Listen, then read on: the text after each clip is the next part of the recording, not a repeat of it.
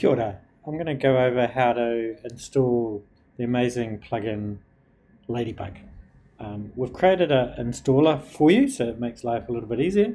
So if you go to Nuku and then under Taiao project I've set up some projects for some resources for this project um, and there's one titled Ladybug Tools which I've got open here um, a quick description of what Ladybug can do um, that's very uh, simplistic uh, description. It's very, very powerful and a, and a great piece of, of uh, software. Um, here we've got uh, the file to download. So we click, uh, if you click on the little arrow there, it will download it automatically. So I've downloaded it uh, here. just depending on what your computer, how your computer's set up, some of you that might automatically unzip that file um, and you'll just be left with a folder. Uh, others you may need to uh, unzip it or extract it. So on the Mac computer, you can, if it hasn't already, you can just double click on it. You can see it's it's unzipped it. If you're on a Windows computer, you might need to right click on that in the File Explorer and go extract, and then it will pull that out. And then here we've got uh, the a Grasshopper file that we're going to quickly open up uh, and install.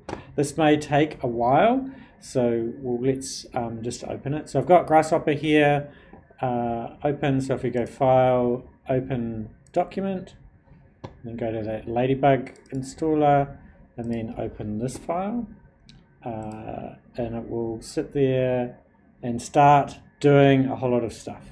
So we just need to be patient. I'm going to pause the video for a second and we'll come back once it's done everything that it's done. Okay, so that took a couple minutes, so just be, be warned that it can take a while. So uh, it comes up and says installation successful, Ladybug Tools 1.8 has been successfully installed. Uh, restart Rhino to load the new components and libraries. So we can go OK, let it do its thing.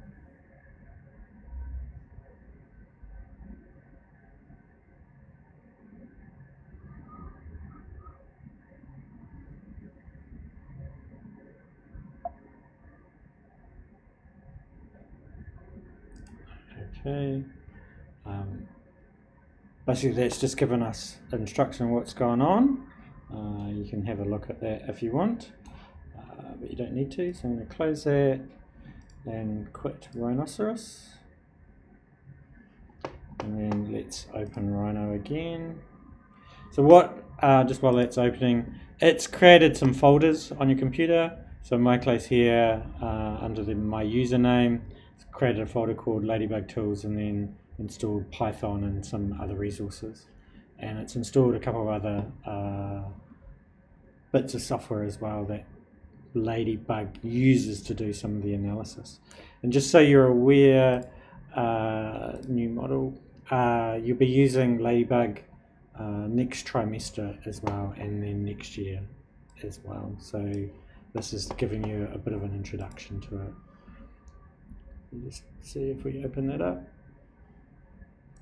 Uh, now you should see uh, I've got Honeybee, that's part of it, Dragonfly, Radiance, and Ladybug. I've got some other ones, just ignore those.